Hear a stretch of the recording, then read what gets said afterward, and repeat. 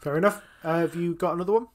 Um, I've got a couple of other ones. Uh, Paul was dead keen to talk about Terry Smith, um, who I am rarely keen to talk about. But here's a quick mention of what's happened. He's moved some things around a little bit. He's roughly doubled his position in uh, Apple, and he's roughly quadrupled his position in Procter and Gamble, um, which is interesting. Uh, there's always a chance with people making kind of this counts as a big bet. It only takes it to about halfway up his portfolio, but you know, quadruple your holding in anything, uh, it counts as a significant move as far as I'm concerned. Um, started buying Mastercard and Marriott, and um, one more stock that we'll come back to in a second. But uh, around the time, Steve, that you and I were saying well, this isn't great from Procter and Gamble. Aren't, aren't these things supposed to like grow faster than inflation, or are they brands supposed to mean you push through prices and the customers don't go away, and you can therefore fend off inflationary raises? Procter and Gamble isn't doing this. Terry Smith feels differently. Um, who am I to question the UK's Warren Buffett? Yeah, um, well, I'm right with you here, Steve. I still don't really see what he's uh, what he's so attracted to here. Um, I noticed that he's clipped the wings of um, Adobe, uh, which is not very timely because I think Adobe's gone up quite a lot this week. I think it went up ten percent uh, either yesterday or the day before uh, alone. So that was that was a large uh, uptick. Um, but yeah, he's just he's just doing Terry Smith things, isn't he? I think he's buying Meta here as well, which is fairly. I think that's that's quite expensive at the mm. moment. Microsoft is quite expensive at the moment. Procter and Gamble, I wouldn't.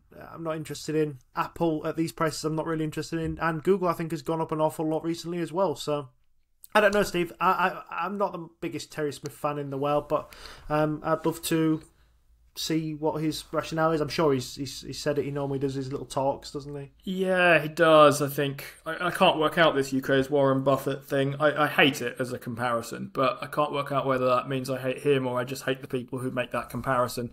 Uh, probably depends on whether I think he makes that comparison. I think he sort of does play to it a bit, which makes me cross at him. But uh, he's been buying a company that we've talked about, or I've talked about on this show, which makes me horrified. And if I owned it, I'd have to sell it instantly. Uh, he's been buying shares in Graco, uh, Steve, which uh, to me looked like a, a, Warren Buffett type stock. It is too small for to be a meaningful Berkshire target, and too overpriced to be a realistic, like complete takeover uh, um, uh, target. So it looks like the kind of thing. Um, well, they're really good at what they do. They move liquids around that are difficult to pump, and they make specialist equipment, and they get into people's supply chains, and they make separate paint sprayers and so on. They have a reputation for being the best. They have very good returns on capital. They have um, okay growth. They actually smashed it out of the park recently with some earnings guidance, um, but uh, not earnings guidance, earnings results but uh, they are priced accordingly. Basically, they're usually in the sort of high 20s PE wise, which means that the returns aren't quite there. There is a genuine question of how far you think the growth runway goes for this company. It's really, really good uh, business. I wish I'd known about it sort of uh, eight to ten years ago. But um, right now, it's a kind of weirdish buy uh, to me, given that Terry Smith is someone who holds as one of his principles don't overpay. Hmm. Yeah, strange one to me. What did you think of his top holdings, Steve? At the moment, we've got Microsoft, Philip Morris, Stryker, IDEX, and Estee Lauder. Not really anything in there that I'm screamingly excited to go rush out and buy. No, nothing that I'm screaming to go out and buy at the moment. I noticed he reduced an Estee Lauder Stryker and IDEX, I think, and maybe Philip Morris as well, uh, if I'm, I'm, right about that. Philip Morris has always been my preferred cigarette uh, company, mostly because of their kind of uh, the way I think about cigarette stocks is you're betting on population growth rising faster than number of than percentage of population smoking declines because that is happening.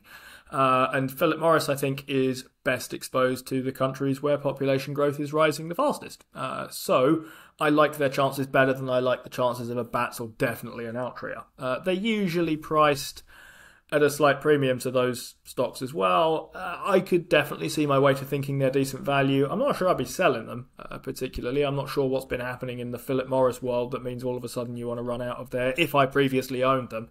Uh, but um, I I'm not a massive fan of uh, much of this. Um, at the top of that, Stryker's a good company. I think it's a medical device. It's the kind of um, it's the waste connections versus waste management to intuitive surgical. I think so. If you think of uh, trash disposal, waste management is the big one. Waste mm. connections is a perfectly good, much smaller uh, one. I think the way I think about it, Stryker is like Intuitive Surgical, but uh, a sort of distant, perfectly respectable in terms of itself. Second though. Yeah, and they do a bit more general um, hospital machinery, isn't they? I've seen them knocking around um, when Mm. uh, when we've been at well when we've been at hospital recently. Yeah, we saw a few bits and pieces of Stryker equipment. That's something I that was uh, a thing I noticed from the scan photo that you sent me. Actually, your scan photo has Canon written at the top of it, and every scan photo I've seen written before has GE at the top of it, which made me uh, interested to note. Not that there's anything particularly better or worse about one or the other, but when I looked at the GE thing, I thought, oh yeah, they still going. And actually, GE Healthcare is a pretty serious kind of operation. It's um, yeah, big outfit. big outfit, a pretty good outfit as well, uh, from what I gather. Just part of a conglomerate that's been catastrophically badly run. More on that story another.